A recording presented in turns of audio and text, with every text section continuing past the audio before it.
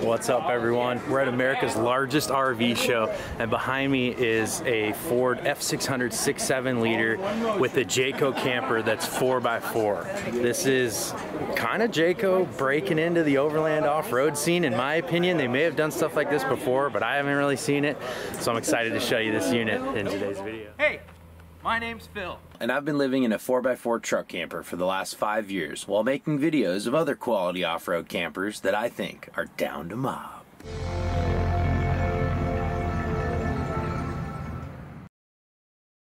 So this one's cool. This one's got a little bit more of a topographic kind of wrap on the outside, um, which I definitely like. A nod again to the overland off-road space, and uh, yeah, with you know these things being just at about quarter of a mil, Jayco is really giving you some options versus the super high-end half a million dollar 4x4 off-road campers such as EarthRoamers and EarthCruisers and things like that. So big old awnings on these things. And this one having the big Ford truck front end we like that the six seven liter diesel. That's a cool unit. Nice big old bumper on that bad boy. Look at that F650 six seven liter looks like a, a nice unit for sure. Looking at some exterior features 30 foot 2 inches overall length, no slide outs. We like that for 4x4 having no slide outs. Um, it is a dually, so if you want to go real crazy, you could do a Buckstop super single conversion, bigger tires. You have to cut the crap out of that wheel. I don't know how that would work, but you could. Um, yeah. Ooh, I like this exterior storage going all the way through for your big stuff. You could even fit a kayak in there. Nice windows though. I really like the uh, the body. Honestly, fiberglass looks to be molded really well. Jayco, I think he did pretty good on this one. Let's go walk in this one and see what it looks like here.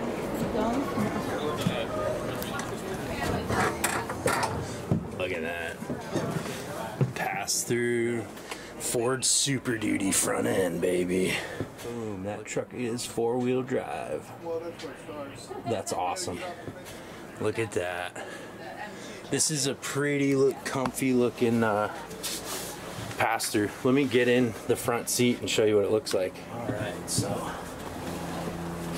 right in the driver's seat just like that. That's amazing.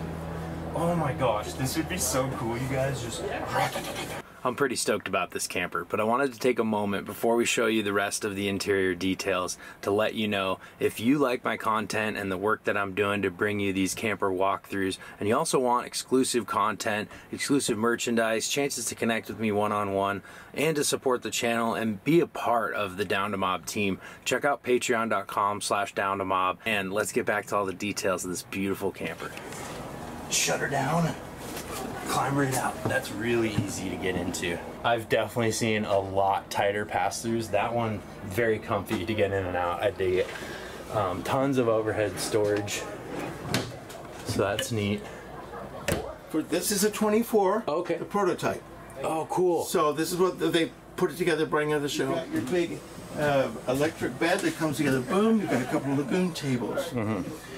You can leave it like this because that big bed, 750 pound bed up front, and it's nice, big and wide, with a low access point, be great for two adults just to get in. Mm-hmm. Big bed up here. Nice big Furrion fridge. Look back here. I got it's got the kitchen here, so sink, induction, two induction burners there. Big old microwave. That might even be an air fryer, um, oven kind of combo been digging that they're putting air fryers in RVs now. Air fryers are so looks like a little control panel there. Yep, it is touch screen. So we're pulling 116 watts of solar right now. That's not a whole lot. 11.3 volts. A little bit low. So I don't know if that thing's plugged in or just running off solar right now. But anyways, I like the layout. Love that big back dinette, you guys. That's cool. It'd be so cool though Yeah, just come hang in. And you got two table mounts there. Put a table around that big dinette. This is a pretty cool unit. And honestly, I gotta say, oh, 107. That's what you save. Um, it's priced at $209,981. That makes a lot more sense. Off-road quality build. This would be five, six hundred thousand. so that's actually not that bad a price. Um, might seem like a lot. Comment below. Let me know what you think of that price. Check that out. They got the TV here. Move the televator here. Mm-hmm. They're gonna replace from the Oh, 50. Televator. So that goes down. That goes down. Boom. but it's the one. And then you can just come hang out back here. This is rad. Nice big dry bath here. Really modern looking, like styling. I like it a lot. Um, RVs are getting a lot more modern, and I love that. It's nice to see. Like it look, this looks really quality. Actually, I like it. Um, this sink, really neat sink. I don't know why there's no water in it. That's okay. And then uh, pretty nifty looking shower. Cassette toilet, I'd assume. Nice window there. Big old storage. This thing is neat. I dig it. Yeah, it's a convection microwave, so look at that big old one. But I think this is a pretty neat unit. We've got oh, I like the storage over the bed here. Um, lots of different cubby options. Put your water right there for when you're sleeping. I always like to sleep with water next to me, so that's good. Maybe put your whatever you got, your book or whatever you're reading in there. Um, I don't see any power. Oh, there it is. But I don't see any USBs. I just see the 110 plugs. USBs by the bed would be nice. Um, looks like that's like the slide controls over there and then a curtain which is nice to keep some privacy and then this um, motorized wow look at that that's fancy motorized do not pull down that's a pretty neat uh, little shade there look at that dinette i said it the homies it would fit the homies what do you guys think Yeah, man, it's definitely uh, spacious enough. Absolutely. I mean, like, look at this this bed space. And Yeah. my, my wife could sleep on the bed over there. yeah the uh, the old cab over Sleep over there. More like the other way around. I, I'll be sleeping over oh, there because I sleep Yeah. on too There's like a pop-up TV situation over here. You could be sitting Yeah. over here chilling. Yeah. elevator TV deal. Sinks down in, fancy. dry bath. Yeah, plenty of room. Straight out James Franco. And then this goes back up too, but that goes down, and this whole thing makes a big bed. Yeah, absolutely. It's almost like a king size bed. Yeah, it's probably big. You can Like, sleep with the it's dogs huge. and like not have a problem. Yeah. It's all about the dogs. What about that price point though? What do you think? I think I it's, mean- it's two hundred nine thousand. Yeah. But you save hundred and seven thousand dollars at the show apparently. Apparently. You think that's real? No, I don't think it's real. Uh, I've know. known campers long enough to know that's that's all show. It's a lot of money Compared to it. to save. something else. But two hundred thousand dollars. I actually don't think that's a bad price for this at all.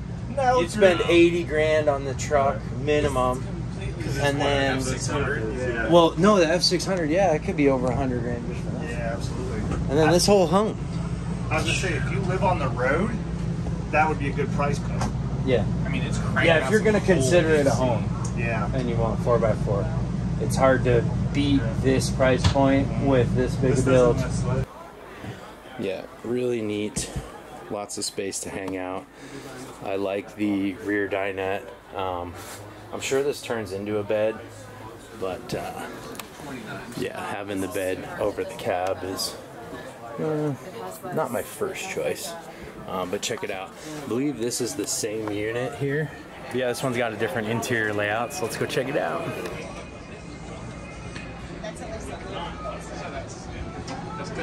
Yeah, of course. Wow, this layout is cool.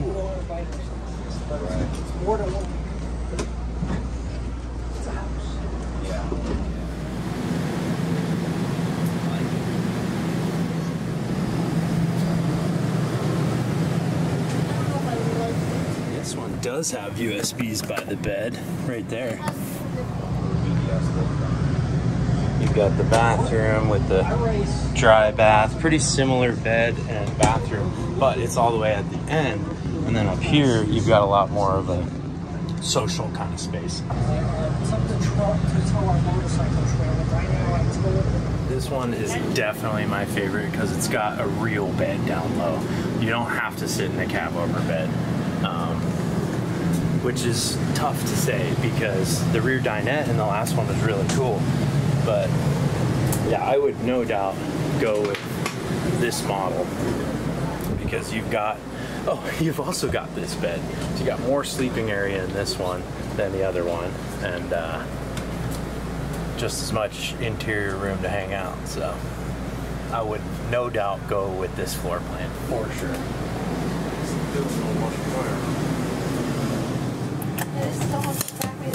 A lot of vehicles. a lot of vehicle how does it feel looking back and seeing all this home I mean, you're up here in the front and you feel like you're just driving a truck, and then you look behind you and you're like, oh, shit, there's a house behind me.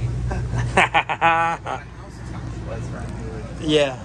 Well, I love that it's a 4x4 unit. That's usually the videos I make are Oh, cool. 4x4 off-road kind of campers. And yeah, it's cool to see Jayco kind of breaking into, um, Oh, no slides on this one if you notice. yeah. No slides. Yeah, it seems like a, a pretty good off-road style camper. Like for, for the space of it, I, I It'll take like it a lot. 12,000 pounds. Twelve thousand pounds. So you could tow your rock crawler, your boat, whatever you got. All those things. Uh, anything you want to tow. Yeah. Well, thank you for showing us, Daniel. Absolutely. Have a great day. Yeah, you too. Appreciate you taking the time. It's Absolutely. busy show here with over 60,000 people attending, so we're uh, thankful Daniel spent a little time explaining it. But so stoked to see a big 4x4 uh, truck camper home on wheels here at America's largest RV show. Thank you guys for watching. Check the next episode and comment what you think of this if you are down to mine.